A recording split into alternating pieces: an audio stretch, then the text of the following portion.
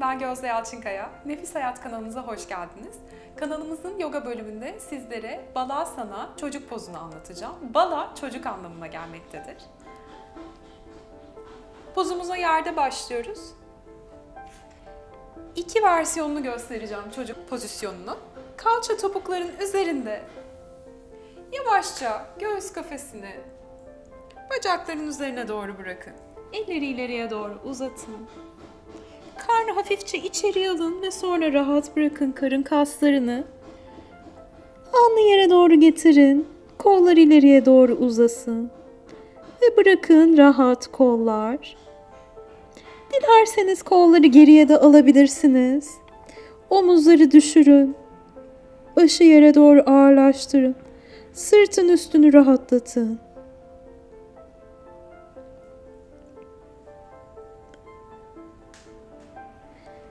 Yavaşça kollar öne doğru uzasın. Alnı yerden sıyırın. Diğer versiyonu anlatacağım. Dizlerin arasını açın mat genişliği kadar. Ayak baş parmakları birbirine değsin. Hatta dizleriniz birazcık matı geçsin. Kalçayı topuklara önce iyice yerleştirin. Topuklara değmiyorsa kalça hiç sorun değil. İleriye doğru göğüs kafesini açarak, uzatarak kolları öne doğru alın ve ağırlaştırın alnı. Göğüs kafesini bırakın yere doğru.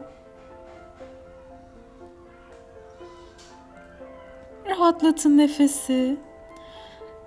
Dilerseniz dirsekleri büküp avuç içlerini başınızın arkasında birleştirin.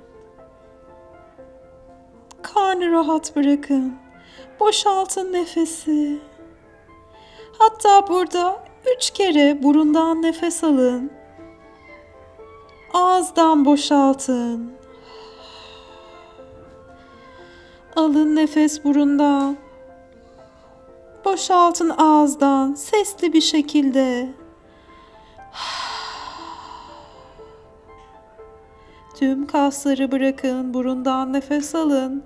Ağızdan boşalıyor. Ve devam edin burundan nefesler girsin bedene ve çıksın. Elleri ileriye doğru alın. Avuç içleri yere yapışsın. Elleri yere doğru iterken gövdenizi yavaş yavaş doğrultmaya başlayın ve ellerle geriye doğru yürüyün. Önce burada bir kalın, öne doğru çok katlandı. Önce bunu dengeleyin. Bakışlar karşıya odaklı olsun. Sonra pozdan çıkabilirsiniz. Bu pozun faydalarından bahsetmek istiyorum size. Zihni sakinleştirir, karın kaslarını rahatlatır, sırtın üstünü rahatlatır. Sinir sistemine iyi gelir ve yorgunluğa, strese, anksiyeteye, depresyona iyi gelir. Bu pozla ilgili de aktaracaklarımız bu kadar. Lütfen kanalımızdaki videolardan haberdar olmak için kanalımıza abone olmayı unutmayın. Teşekkürler.